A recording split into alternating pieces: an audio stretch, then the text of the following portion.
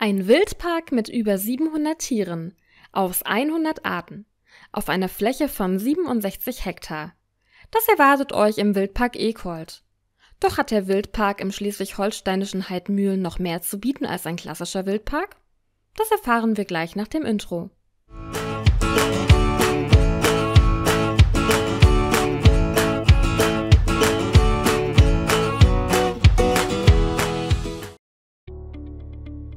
Privat geführte Wildpark Ekold wurde 1970 gegründet und wurde seitdem zu einer Naturerlebnis- und Bildungsstätte weiterentwickelt. Der Park hat es sich zur Aufgabe gemacht, heimische Tiere in ihrer natürlichen Umgebung zu zeigen. Er lebt einen Rundgang durch eine tolle Natur, durch Wald, Moor und Auwiesen und entdeckt zahlreiche Wildparkbewohner wie Dammwild, Wölfe, Wildkatzen, Waschbären und viele mehr. Besonders bekannt ist der Wildpark durch seine Vogelpflegestation mit der Spezialisierung auf Greifvögel, Eulen, Störche und Kraniche. Der Wildpark Ekold liegt am Nordrand des Segeberger Forstes, mitten in Schleswig-Holstein, im kleinen beschaulichen Ort Heidmühlen, rund 50 Kilometer von Hamburg, 60 Kilometer von Kiel und 55 Kilometer von Lübeck entfernt und liegt somit in der Nähe von allen drei Großstädten. Erreichen lässt sich der Wildpark über die A7 oder die A21 und dann die B206 weiter folgend. Genügend Parkplätze gibt es kostenlos direkt am Park. Mit den öffentlichen Verkehrsmitteln ist der Park jedoch nur schwer zu erreichen. Es ist möglich, ein Anruf-Sammeltaxi zu nutzen, dies aber nur nach Voranmeldung. Ansonsten ist man auf die Anreise per Auto angewiesen. Wir betreten nun den Eingang des Wildparks und stehen direkt vor dem Restaurant Kiekutstuben. Ein paar Schritte weiter gelangen wir dann auch zum Parkplan und wir müssen uns entscheiden, ob wir den kleinen Rundweg in circa einer Stunde laufen oder aber den großen Rundweg in zweieinhalb Stunden. Wir entscheiden uns für den großen Rundweg und werden auf unserem Weg immer an diesen Rundweg mit Schildern und Tiertatzen erinnert. Ein idyllischer Waldweg führt uns vorbei an ersten Informationstafeln zum Seeadler-Pavillon, bei dem es zwei Seeadler zu sehen gibt, den größten Greifvogel Europas die Seeadler bewohnen hier eine zwar alte, aber gut geschnittene Anlage. Weiter geht's vorbei an einer Eichhörnchenfütterungsstelle zum Lagerfeuerplatz mit einigen Grillplätzen. Hier kann man, sofern es keine Waldbrandgefahr sowie zu unserem Besuch gab, Grillplätze anmieten. Der Waldweg führt uns zum ersten Highlight des Parks, dem Rotfuchsgelände. An diesem hatten wir sehr viel Glück und konnten zwei aktive Rotfüchse durch ihre natürlich gestaltete und schön bewachsene Anlagestreifen sehen. Ebenfalls aktiv waren auch die zwei Dachse, die im angrenzenden Gehege leben. Auch hier trefft ihr auf eine naturbelassene Anlage, die ebenfalls auch unterirdisch beobachtet werden kann. Wusstet ihr, dass Dachse in unterirdischen Bausystemen leben, die auch Dachsburgen genannt werden? Diese können sogar eine Ausdehnung von bis zu 30 Metern erreichen. Im nächsten Gehege warten Steinmarder auf uns. Diese konnten wir jedoch nur in ihrem Innengehege finden.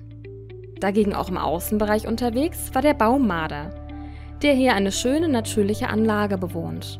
Der Marder kann auch von einer Holzplattform aus beobachtet werden. Wir verlassen die beiden Marderanlagen und kommen am hinteren Gelände der Wölfe vorbei, die wir leider nicht entdecken konnten. Dafür entdecken konnten wir auf der nächsten Anlage zahlreiche Wildschweine mit so einigen Frischlingen. Für den Blick auf den Nachwuchs lohnt es sich einfach, hier im Frühjahr vorbeizuschauen. Vorbei an Wolfs Informationshäuschen machen wir einen Abstecher zum Blässwild. Eine Farbvariation der Rothirsche mit weißer Blässe und meist weißen Läufen. In freier Wildbahn ist das Blässwild nahezu ausgestorben und hier im Wildpark trefft ihr auf einige der letzten Exemplare, wie der Zoo-Homepage zu entnehmen ist.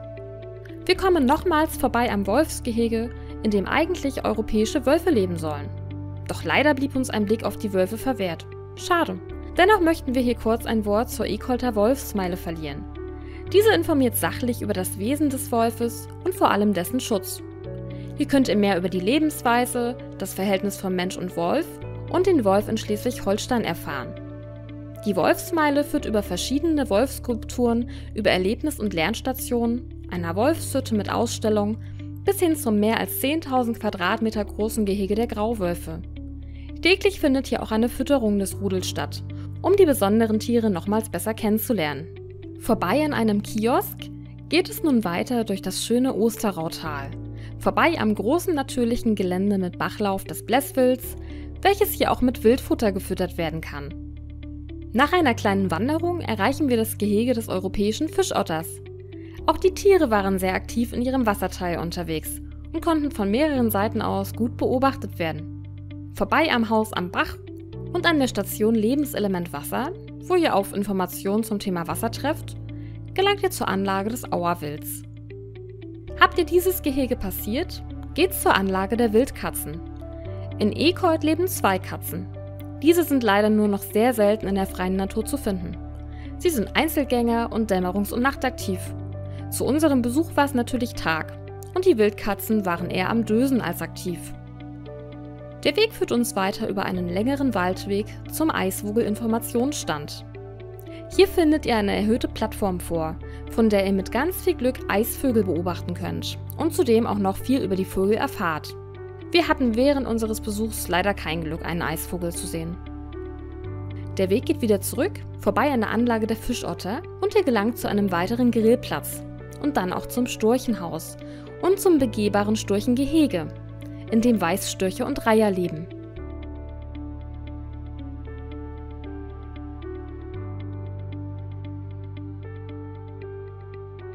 Über eine Tür geht es über einen Waldweg durch eine andere Tür ins Moorgebiet und Torfgebiet des Wildparks, in dem euch zunächst ein Weg mitten durchs Moorgebiet erwartet. Am Ende des sogenannten Torfstichs angekommen, erwartet euch das Gehege des Graukranichs, Daneben befindet sich direkt die Anlage für Schneeeulen, die wir auch während unseres Besuchs entdecken konnten. Neben den Eulen leben hier auch nochmals Weißstörche und gegenüber ist ein Außenterrarium mit Schlangen angelegt, in dem ihr mit etwas Glück einheimische Schlangenarten wie Kreuzotter und Blindschleiche entdecken könnt. Der Weg führt uns weiter vorbei am Gelände des wunderschönen weißen Rotwills. Was für schöne Wildtiere. Des Weiteren warten auch noch die Anlagen für Zwergziegen und Heidschnucken auf euch. Zweitere sind eine bekannte alte Landschaftsrasse, die ursprünglich aus der Lüneburger Heide stammt. Vorbei am Bienenhaus mit eigener Imkerei, die viel Wissenswertes über Bienen bietet, geht's zu den Löffelern und braunen Sichlern, die auch von einem Beobachtungspunkt gesichtet werden können. Wieder zurück durch die beiden Tore verlassen wir das Moorgebiet und erreichen die Anlage des Sika und des Rotwilds, die zusammen ein großes Landschaftsgehege bewohnen. Am Anfang dessen befinden sich auch noch einige Vogelvolieren mit Keulgraben, Uhus und Sperlingskauzen. Über einen langen Waldweg durch den Erlengrund bahnt ihr euch euren Weg vorbei am großen Gehege des Rotwilds, welches dann übergeht ins ebenfalls große Dammwildgehege. Kurz hinter der Osterau-Überquerung erwartet euch dann ein weiteres Highlight. Die Flugshow-Wiese, auf der ihr euch täglich eine Vogelshow mit Greifvögeln und Eulen anschauen könnt. Weiter geht's zum Waschbärengehege. Dieser eine süße Waschbär hatte zu unserem Besuch sehr viel Freude beim Spielen mit diesem Reifen. Dahinter warten auch noch einige Haustiere wie Hühner, Ziegen, Esel und Hasen sowie ein großer Spielplatz für die kleinen Besucher auf euch. Und auch weitere Grillplätze findet ihr vor, sowie ein Ententeich. Doch ein letztes Haus haben wir noch nicht besucht. Die Wildparkschule.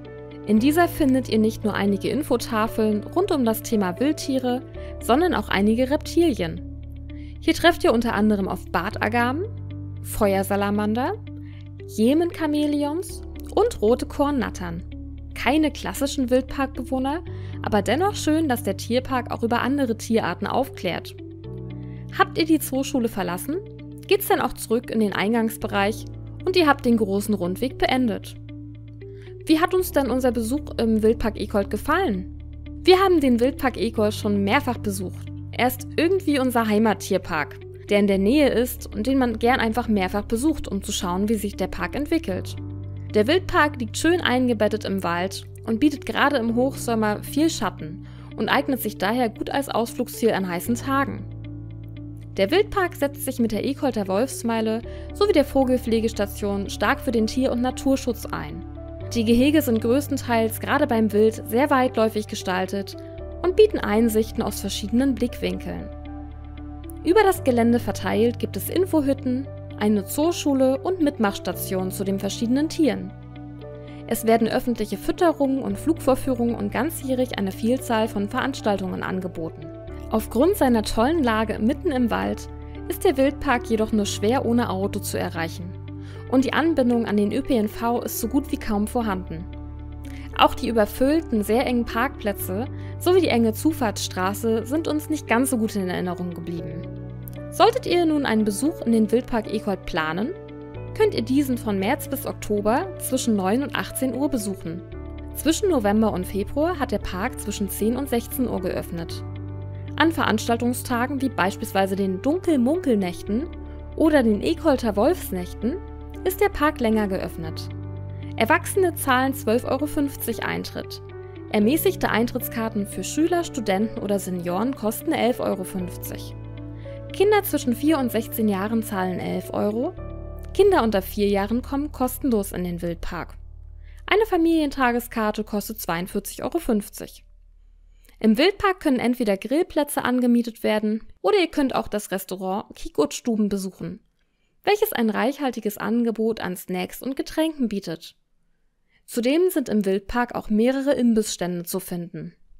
Für Kinder gibt es einige Spielplätze im Park. Der größte ist der Spielplatz mit Streichelgehege. Hier sind zudem eine Kletterwand, eine Tauschaukel sowie Rutschen und Hüpfkissen vorhanden. Im Park gibt es immer wieder die Möglichkeit, Spielstationen zu entdecken. Dort kann balanciert, geklettert und gehüpft werden. Der Tierpark bietet zahlreiche Veranstaltungen, wie beispielsweise die Wolfsnächte und auch private Führungen an. Und auch eine tägliche Flugshow kann besucht werden. Zudem können tägliche Fütterungen von den Fischottern, Füchsen und Wölfen besucht werden.